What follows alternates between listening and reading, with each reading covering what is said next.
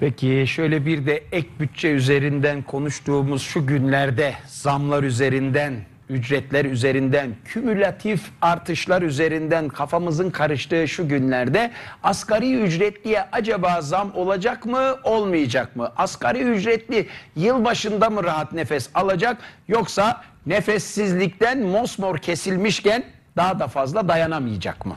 Gerçekten sorular net. Aslına bakarsanız e, Numan Kurtulmuş AKP Genel Başkan Vekili Sayın Numan Kurtulmuş emekli memur için yüzde 40 ifadesini kullandı. Sayın Cumhurbaşkanı yüzde 40 alıyorsa elbette emekli de memur da yüzde 40 alacaktır. Ama burada ince bir nokta var. Bu yüzde 40'lık artış bir yerlerden bulunup getirilip şöyle kasadan hadi bakalım bir de yüzde kırklık artışı getirip ekstra verelim durumu değil. Zaten zaten el mecbur durumu yasalarla düzenlenmiş bir durumdan bahsediyoruz. Yasal, kanuni bir durumdan bahsediyoruz. Haktan bahsediyoruz. Size verilmiş bir hak.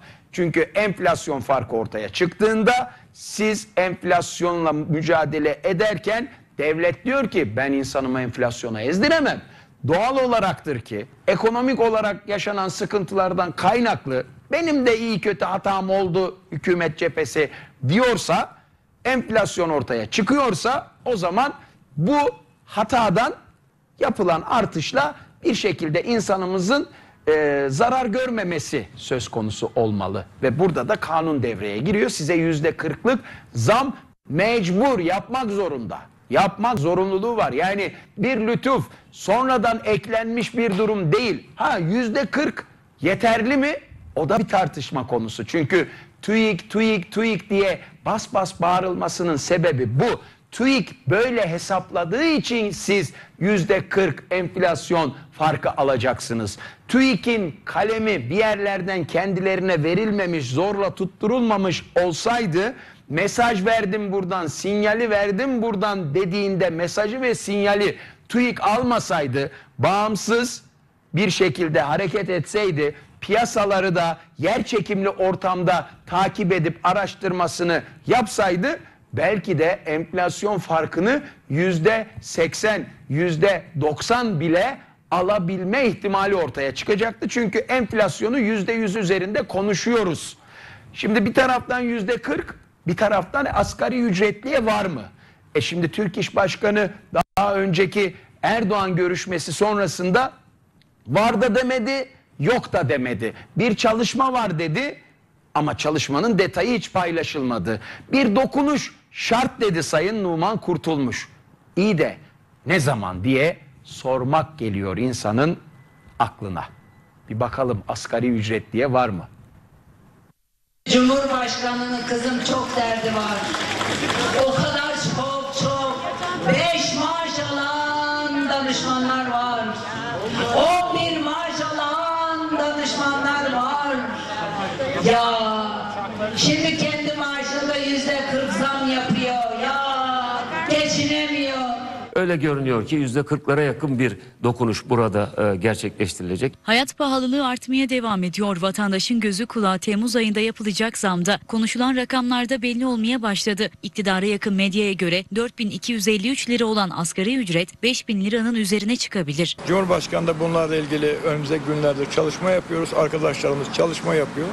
Önümüzdeki günlerde bununla ilgili size de kamuoyuna da bilgi verir. Sizi çağırırız, konuşuruz dediler. Kısa özeti bu.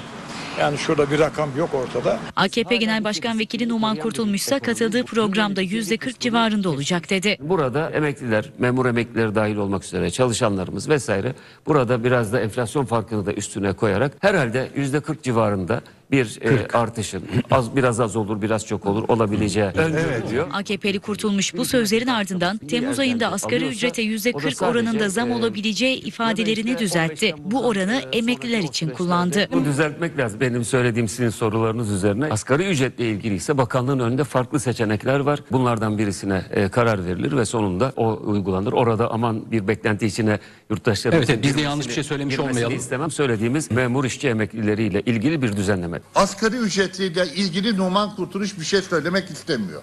Neden? Asgari ücretliler aç mı kalacak? Milyonlarca insan bir beklenti içerisinde. Muhalefet ise asgari ücretteki zammın açlık ve yoksulluk sınırının dikkate alınarak yapılması gerektiği görüşünde. Söyleye söyleye iki buçuğa çıkardılar. Emekli maaşlarının en düşüğü asgari ücret kadar yapın.